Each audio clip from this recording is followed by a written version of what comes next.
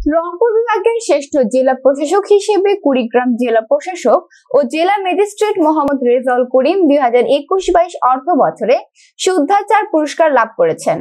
জাতির পিতা বঙ্গবন্ধু সোনার বাংলা গড়ার প্রত্যয়ে ও রাষ্ট্রীয় প্রতিষ্ঠান ও সমাজে সুশাসন প্রতিষ্ঠার অভিলক্ষে পেশাগত জ্ঞান ও দক্ষতা, নির্ভরযোগ্যতা ও কর্তব্যনিষ্ঠা তথ্য প্রযুক্তি ব্যবহারে পারদর্শিতা, উপস্থাপন দক্ষতা ও অভিযোগ প্রতিকারে সহযোগিতা সহ শুদ্ধাচার চর্চা বিষয়ক বিভিন্ন সূচকে কাঙ্ক্ষিত মান অর্জনের স্বীকৃতি স্বরূপ তাকে এই পুরস্কারের জন্য মনোনীত করা হয়।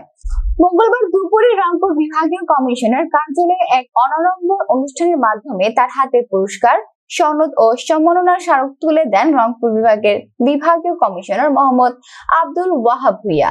এ সময় বিভিন্ন দপ্তর প্রধান ও সাংবাদিকরা উপস্থিত ছিলেন।